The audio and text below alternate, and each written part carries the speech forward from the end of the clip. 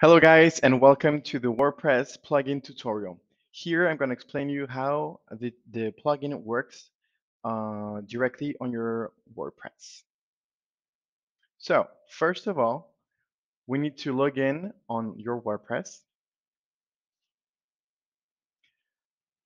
Then what we need to do is we need to go to the plugin store. So we go to the plugins, install plugin, we go on add new, we search and we type the Moneytizer. Once you enter the Moneytizer, you will install this one over here, install now. Then what we need to do is we need to activate it. Then we go to plugins, install plugins, and then we go to the monetizer on settings you have the Moneytizer plugin landing page. They will ask you for your Moneytizer ID. It's very simple. You just need to go to your money box all the way to setup and on the WordPress tab. Here you will choose your website if you have more than one. Remember that each site has a different plugin ID. You just copy and paste it here. And then we copy paste it and then we go on save. Once we've done that, you will see that you enter to the, money, uh, to the Moneytizer plugin. So we're here on the plugin. If you have any questions, don't mind clicking the tutorial button. It will follow you through the whole plugin. So here you will find your URL of your website your CMP version, which is the content banner, your ATXT, and the plugin version. Also, the plugin, just remember, it's like your money box. You have all the information uh, as in the money box. It's you have your statistics, your formats, your profile information, your invoices and payments, the FAQ, the sponsorship, and the plugin settings. So now I'm going to explain to you the different types of tabs that you will find on the plugin. You have your statistics. Here, you have all of the statistics of your CPM that are exactly as your money box. Remember that the plugin is connected to your money box, so all the information that you will find here, you will find it also on your money box.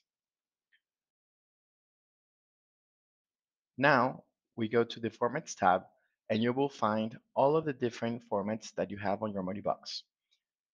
If you already integrated or generated a script of the format, for example, the mega banner, you will find it here, the script on the right side. But if you haven't placed or generated the script, you will find it like this, generate script.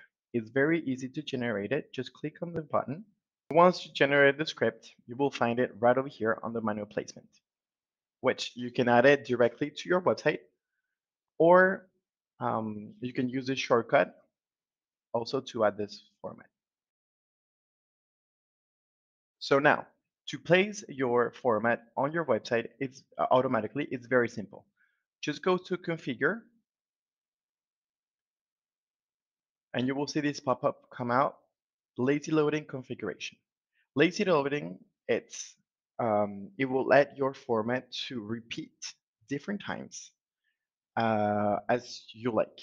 You are the one that are going to that is going to decide how many times do you want to see the format that will place on your website. To activate it, you just need to go to activation of the lazy loading, click on this status bar. Now you have different little tabs. I'm going to explain you each one of them. So display anchor. Here it means that where do you want to see your ad unit? You can see it between the paragraph on the images, the titles, sections, or articles. Also, you have the display order. So you can choose before the anchor or after the anchor. Also, you have the display frequency. This means that how many times do you want to see the format? For example, if you choose a paragraph, this means that After one paragraph, you will see a format. So what we I think it will be good. It's between three and four paragraphs. Like that, there's not a lot of, of interaction of publicity, and the uh, lecture will be happy. You have the starting order, the display height, and the width display. Those ones, we do not touch them because uh, then they will change the height and the and the width of the of the format and it will not be good. Here on the alignment, you can choose on the left, the center, or on the right from the anchor display that you choose. For example, the paragraph. And very important, you need to save it. If you don't save it, it won't get saved and you will not see the format on your website. If you want to see if it worked, you just need to go to your website. Right over here, you can see that the format is well placed. Also, the format will be recharged every 30 seconds thanks to our smart refresh. So if you want to turn off the lazy loading off your format that you just um, activated, it's very simple. You just need to go to configure button, click on the status, and then save it. Very, very important. So here you will see that the status is on pause. Also, very important, these formats only worked for article pages. You cannot add automatically an add unit on the right on your website or all the way at the bottom. This one only works with articles uh, pages. So here we go to the My Profile tab. Here you can see all your personal information. You can also modify it here directly or on your money box. Now you have your invoices and payments tab. Here you can see all of your bank account information. You can modify it here directly or also in your money box. But very important, you cannot modify your bank account information from the 5th all the way to the 10th of the month. Very important to keep that in mind. Also, if you have invoices on your money box, you will see them right at the bottom over here. Okay, so we have the question and answer tab.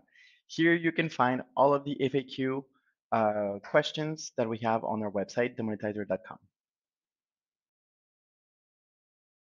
The sponsorship, if you want to register one of your buddies, one of your friends that wants to join the Moneytizer, don't hesitate to give you uh, to give him the sponsorship code. Okay, so now for the ATXT file and the CMP, you just need to go to the last tab, which is plugin settings. Here you will see the ATXT and the content banner, also known as CMP. It's very, very simple to add it on your website. You just need to click on the automatic placement of the ATXT. You'll see a pop-up coming up. And then on the content banner, you will click here, automatic placement of the CMP. Very, very important, the ATXT file will only work if you have Apache server. If you have also a plugin that will delete all your cache, don't hesitate to delete it because it will help you uh, to see right away the changes on your website.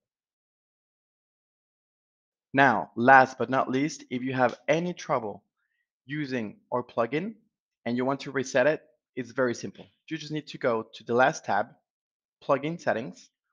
All the way at the bottom, you will see here a red button resetting the plugin.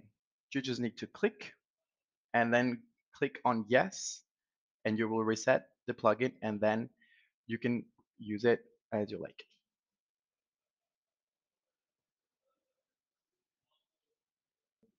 So that's it for the Moneytizer plugin tutorial. If you have any further questions, do not hesitate to see the question and answer FAQ. And also do not hesitate to contact us at contact at themoneytizer.com. Thank you. Have a nice day.